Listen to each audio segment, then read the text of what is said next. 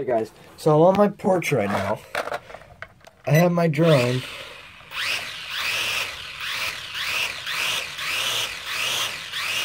I'm gonna show you what it does. Okay, so I'm gonna put it in my. Okay, so I have the drone at full power. So we're just gonna watch it. So I'm holding it perfectly level, so all the props are running. Okay, so it just turned off, but it's still at full power. I don't know. I need some help with this, guys. You guys know what's going on, but I have it at full power, as you can see here.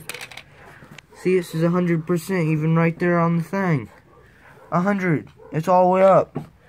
And the drone is just barely, it has, it just, it, it's just out of power now.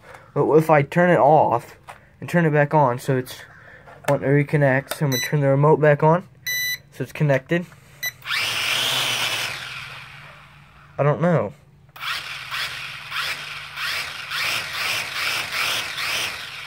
Okay, so I'm gonna put the camera down for a second. Now I'm full powering it again, so you can. Except I'm gonna do a, a top view of it. It's just perfect level. All the props are running. Can hear it. It's slowing down. Look at the blades. And then it just turns off. I don't know, guys. But the remote is still at 100%.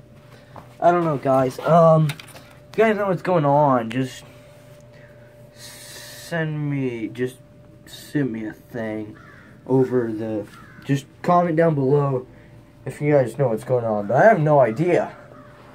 So, I mean, just comment down, comment down below, down below for, um, if you guys know what's going on. But I, I need to figure this out so I can get this drone back working. As always, peace with five. Yeah.